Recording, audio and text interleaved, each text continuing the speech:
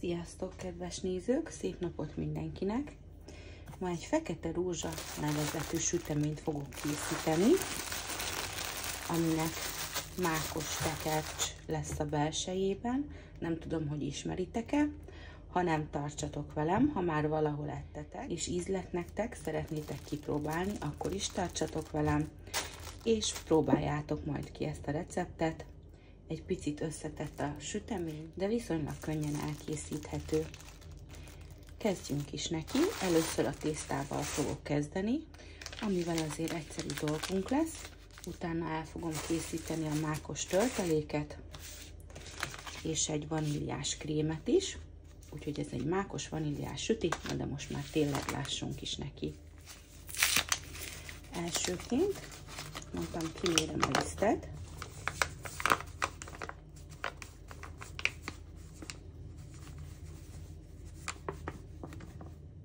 Hozzáadok egy sütőport. A pontos mennyiséget, hogy miből használtam, szokásos módon majd a leírásban fogjátok megtalálni. Csipecsó, szódabikarbónát,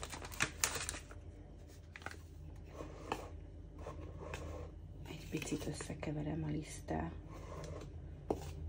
a sütőport, szódabikarbonát, sót.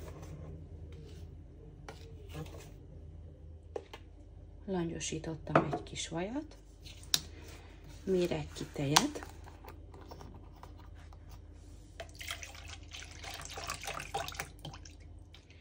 amit a tészta összeállításakor apránként fogok adagolni. Nagyon lisztfüggő szokott lenni, úgy, hogy mennyi tejet vesz fel de mutatom is majd nektek.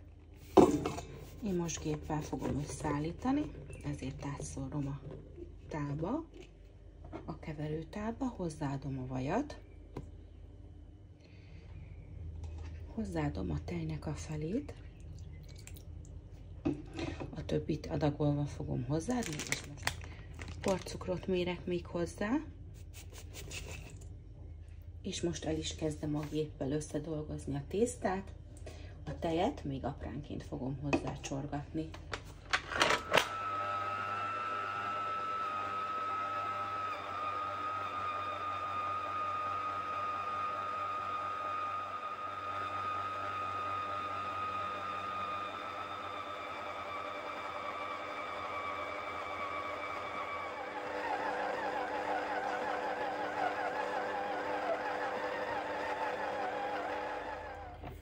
Tészta el is készült, kézzel egy picit át fogom formázni.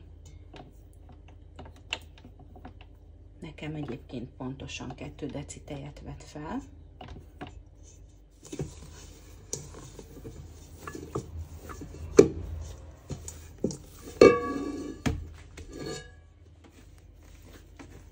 Picit én a tésztákat mindig át szoktam dolgozni a gép után.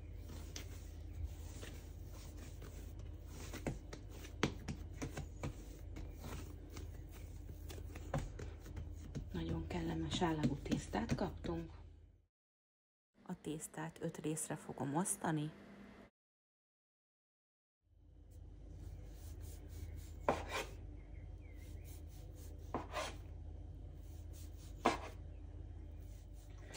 A kinyújtott tésztát a tepsinek a tetején fogom megsütni. Ennek a segítségével így könnyen ki is fogom tudni nyújtani a pontos méretre.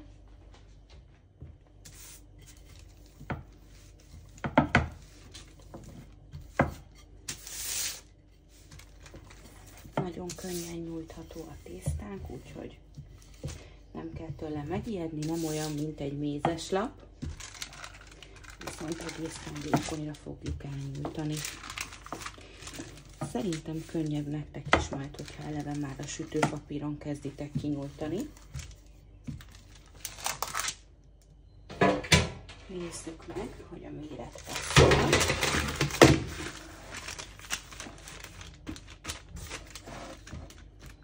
Szerintem jó lesz. Még egy picit igazítok rajta.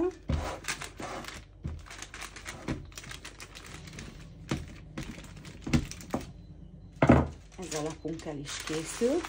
kinyújtom a következőt is, addig előmelegítem a sütőt 185 fokra, és egymás után rögtön ki is fogom ezeket a lapokat sütni. Jöhet a következő.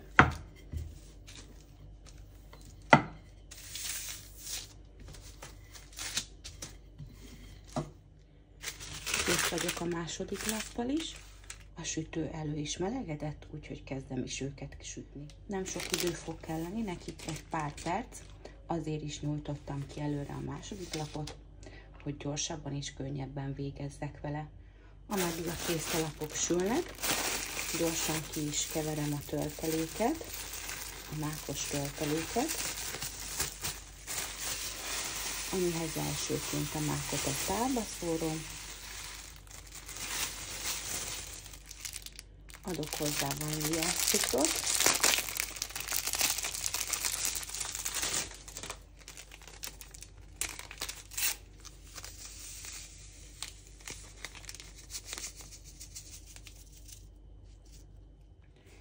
Mindek hozzá porcukrot,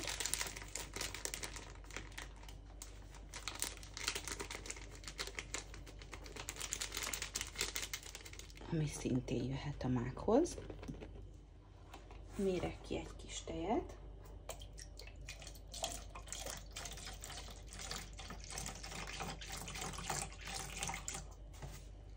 Amit fel fogok melegíteni, úgy fogom hozzáönteni a mákos cukorhoz, el fogom keverni, és utána hagyom majd kihűlni, ameddig kinyújtom majd a többi tésztalapot, de mutatom is nektek.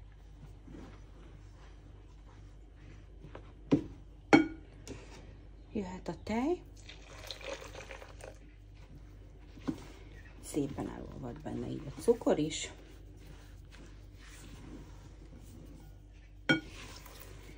És egy jó kis kenhető mákot fogunk kapni.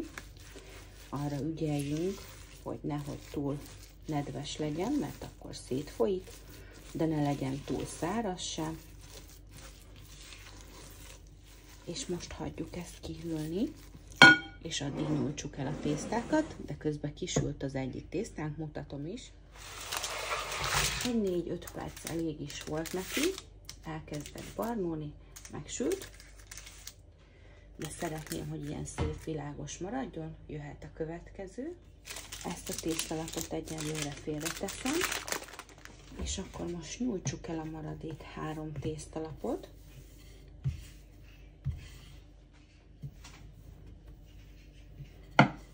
Körülbelül akkorára, mint a tepsi méretünk volt, olyan hosszúra,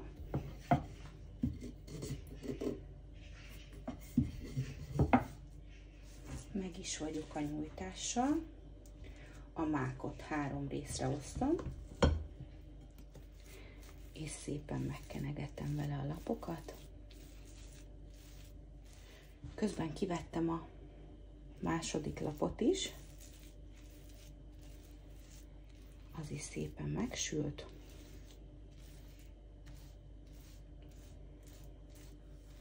És a mákot pedig egyenletesen osszuk el egészen a széléig.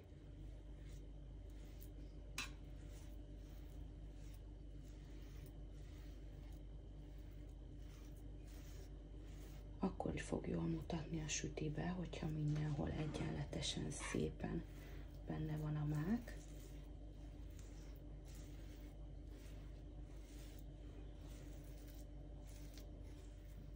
Látjátok, nem túl nedves, nem túl száraz a mág, pont jól kenhető. És akkor most szépen, szorosan tekerjük fel hosszában.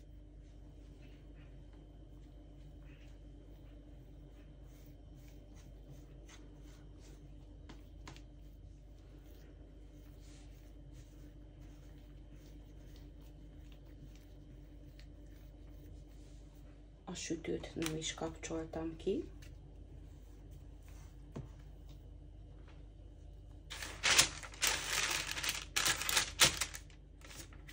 ugyanezeket a mozzanatokat elvégzem még a másik kettő rúddal, és egybe fogom őket gyorsan kisütni, de mutatom is. Jöhet a töltés.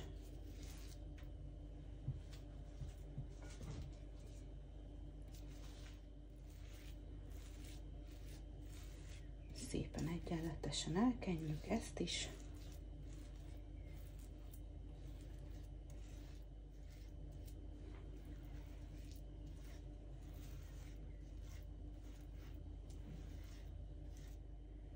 jöhet a feltekerés.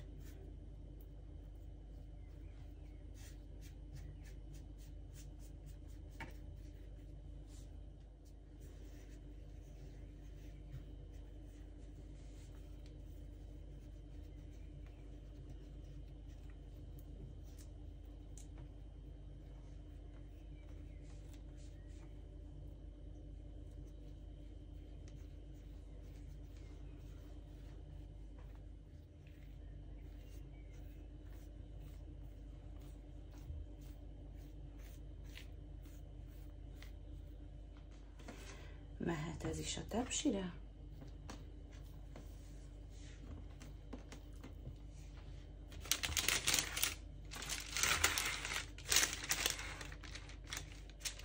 És már csak az utolsó van hátra. Kész a nyújtás, jöhet a mák.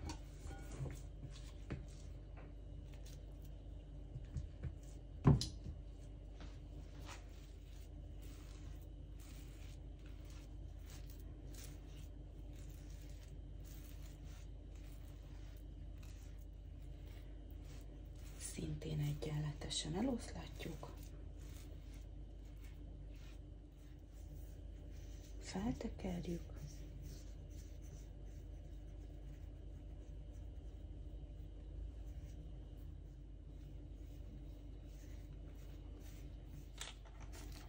Ez is jöhet a tepsire.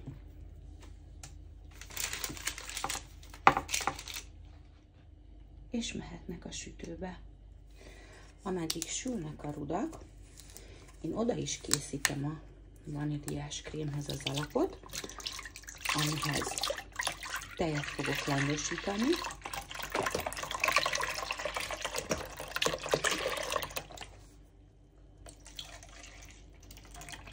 Egy kevés tejet félretettem, és egyébként szokásos módon fogom elkészíteni a vaníliapudingot, tehát az edényben fel is teszem langyosodni a tejet, a maradék tejben szépen elkevelem a pudingport, a cukrot, és én most még egy kis vaníliás cukrot fogok külön hozzáadni.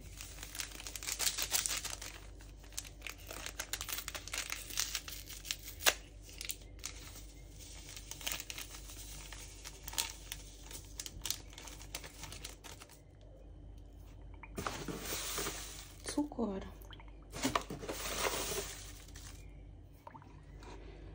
szépen simára keverem, és hozzá fogom önteni a langyos tejhez.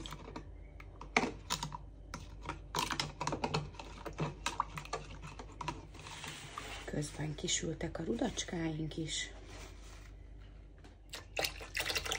És a langyosodó tejhez jöhet a puding, és folyamatos kevergetés mellett főzzük sűrűre.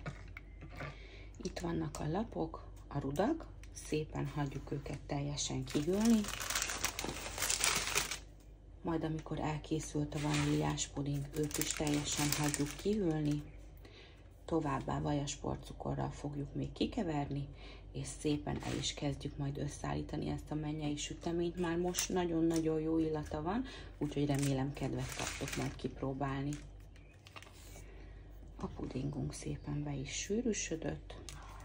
Le fogom majd fedni fóliával, hogy ne bőrösödjön be. Hagyom teljesen kihűlni. Miután szobahőmérsékletűre hűlt, a hűtőben fogom tovább folytatni a hűtését, és utána készítjük a krémnek a további összetevőit. A krémeket el is kezdem készíteni. A pudingunk is lehűlt, most következő lépésként margarint ki fogok habosítani porcukorral.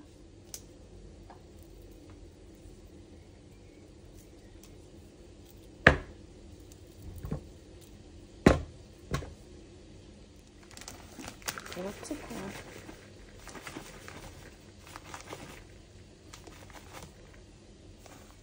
Szépen habosítsuk ki. Porcukor margarinnal meg vagyok, és most szépen hozzá fogom adni a pudingot.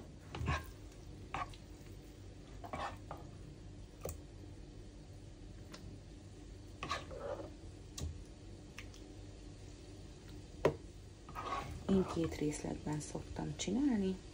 Először a legneműsített.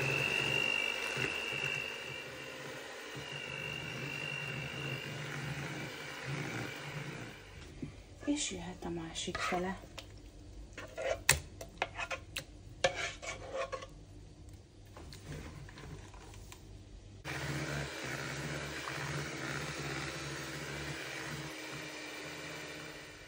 Csoda szép és nagyon finom krémet kaptunk, és kezdhetjük is az összeállítást. Az alsó lapot vékonyan megkenem a krémmel,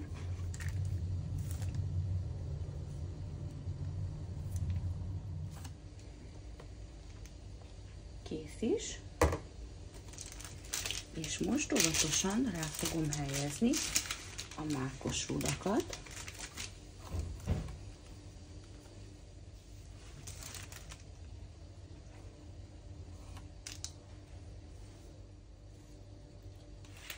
Közben a sütit visszahelyeztem a tepsire, és most alaposan megkenem a krémmel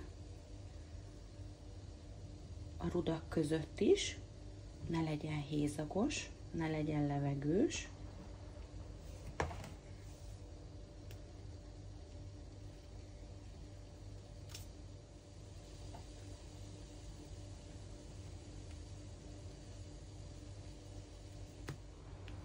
És a maradék krémet eloszlatom a tetején egyenletesen,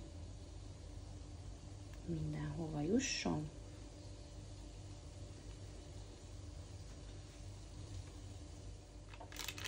A széleihez is felviszem a fémet, mutatom.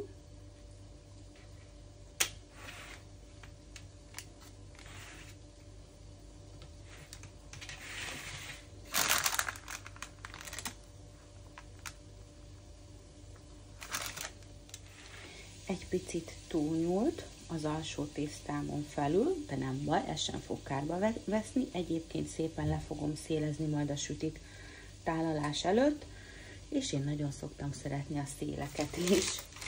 És akkor utolsó előtti lépésként ráhelyezem a tetejét,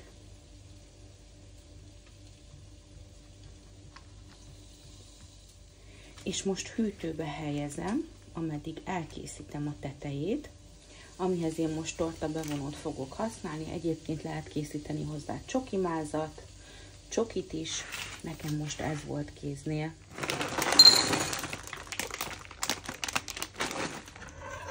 A torta bevonót kimértem, hozzáadok olajat,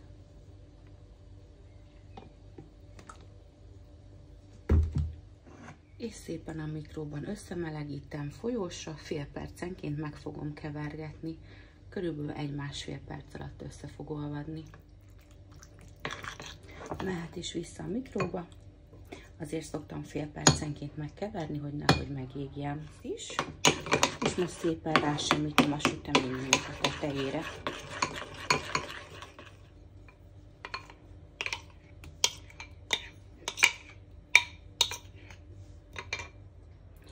Jöhet a simítás.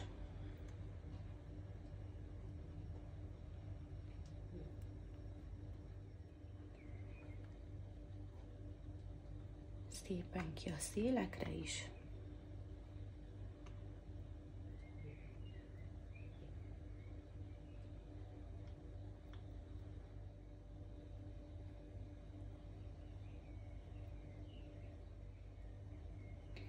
Kész is, most pedig villával egy kicsit fogom díszíteni a tetejét.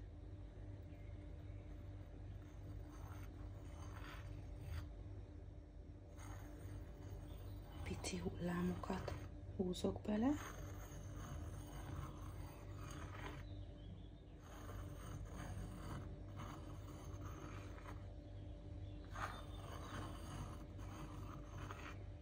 És most visszateszem a hűtőbe, hogy rádermedjen a csoki, majd én egy egész éjszakán át fogom pihentetni, hogy szépen összeérjen a sütemény.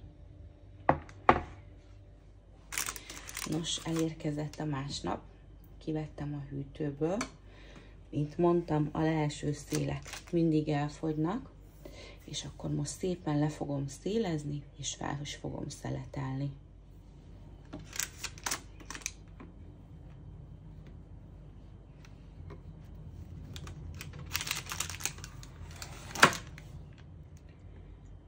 Mutatom is, milyen belülről. Szerintem csoda-csoda szép, és nagyon-nagyon finom. Mákos vaníliás rózsaszelet, fekete rózsa, úgyhogy mindenképp ajánlom, hogy próbáljátok ki. Örülök, hogy velem tartottatok, remélem tetszett a recept. Nagyon puha, nagyon omlós, nagyon finom, úgyhogy tényleg még egyszer elmondom, hogy bátran próbáljátok ki. Picit időigényesebb, de higgyétek el, hogy megéri. Ha tetszett a recept, kérlek nyomjatok egy lájkot, iratkozzatok fel a csatornámra, és találkozzunk legközelebb is. Most még szépen felszeletelem a többit is, és irány vele a családhoz. További szép napot nektek, sziasztok!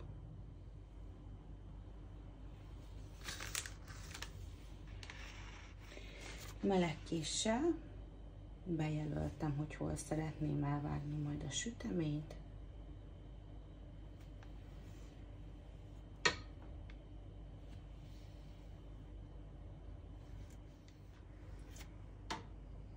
és jöhet is a szeletelés, így sokkal könnyebb.